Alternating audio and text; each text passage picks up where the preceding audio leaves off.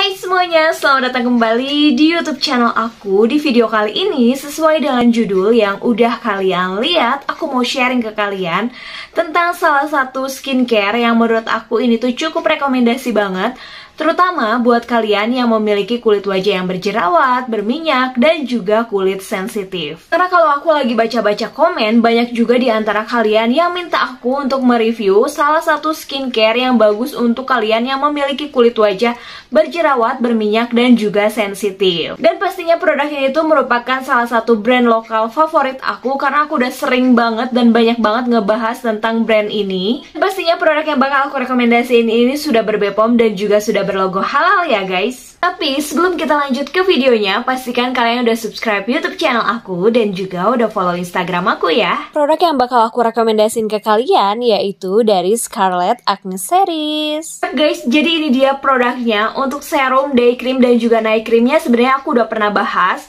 Jadi di video kali ini aku mau fokus untuk ngebahas facial washnya aja.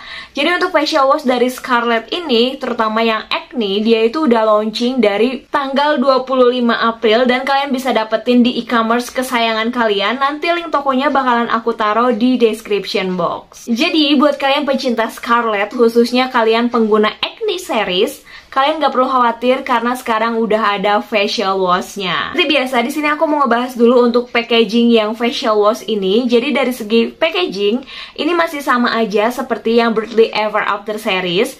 Dia berbentuk box berukuran 100ml dengan cukup informatif. Tampilan depannya sendiri kurang lebih seperti ini dan tampilan bagian belakangnya kurang lebih seperti ini. Jadi dia itu ada ingredientsnya, nomor BPOM, logo halal, dan juga kita bisa lihat cara pemakaian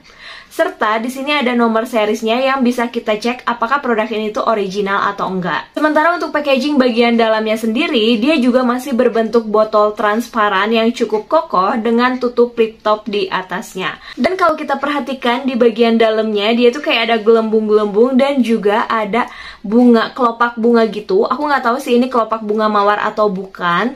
Dan juga kelopak bunganya itu berwarna ungu. Untuk teksturnya sendiri, dia ini tuh memiliki tekstur watery gel dan menurut aku ini aromanya sama sekali tidak menyengat, malah mirip kayak ada aroma vitamin C-nya gitu. Untuk manfaatnya sendiri, produk ini tuh membantu membersihkan wajah dari kotoran yang menyumbat pori-pori, mencerahkan noda bekas jerawat, melawan bakteri penyebab jerawat, merawat kulit berjerawat karena di dalamnya ada tea tree extra, lemon water, centella asiatica, mugwort hydrosol, vitamin C, dan juga jeju aloe vera. Nah, selain yang aku sebutin tadi, dia juga ada kandungan jeju rosemary dan juga pomegranate extra. Nah, buat kalian yang memiliki kulit wajah normal ataupun kombinasi, kadang kan kalau misalnya lagi PMS kita tuh suka muncul beruntusan, muncul jerawat, dan tentunya kita membutuhkan facial wash atau skincare yang tepat untuk membersihkan jerawat dan juga beruntusannya. Menurut aku, facial wash dari Acne seriesnya Scarlet Whitening ini cukup rekomendasi banget. Dan gak perlu khawatir, walaupun dia itu konsennya itu di acne, tapi tetap bisa mencerahkan. Karena kalau misalnya aku perhatikan di sini, dia kan ada kandungan lemon water, vitamin C, dan juga ada kandungan pomegranate extra yang dapat mencerahkan kulit. Dan juga dapat memudarkan bekas jerawat. Untuk step pemakaiannya sendiri, pastinya yang pertama kalian bersihkan wajah kalian dengan menggunakan facial wash. Lanjut untuk step kedua yaitu menggunakan toner dan yang ketiga menggunakan serum. Kalau misalnya di siang hari kalian menggunakan day cream dan di malam hari kalian bisa menggunakan night cream. Penggunaan facial washnya sendiri kalian bisa tuangkan secukupnya aja di telapak tangan kalian. Abis itu kalian bisa tambahkan sedikit air dan busakan. Jujur untuk busanya sendiri dia itu benar-benar super lembut banget dan aromanya juga seger banget. Karena di sini wajah aku tuh lagi nggak berjerawat, jadi aku nggak bisa apply di wajah. Aku bakal tunjukin ke kalian gimana sih cara facial wash ini tuh bekerja dalam membersihkan kulit.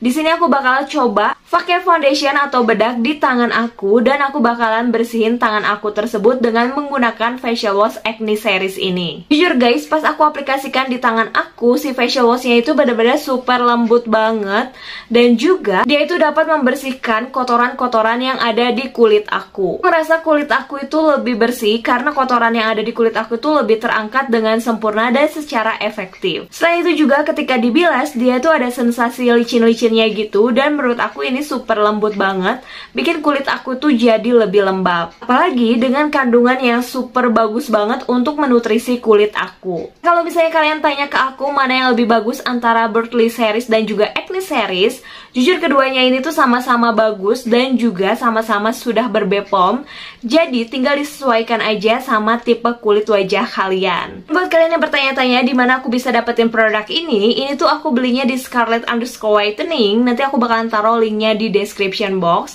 Dan ini aku ordernya di harga 75.000 per item. Itu tadi review aku mengenai facial wash acne seriesnya Scarlet yang merupakan produk keluaran terbarunya. Gimana menurut kalian? Apakah kalian tertarik untuk coba?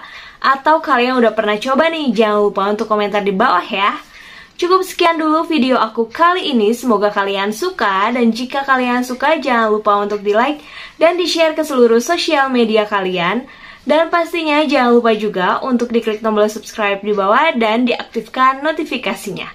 And see you on my next video.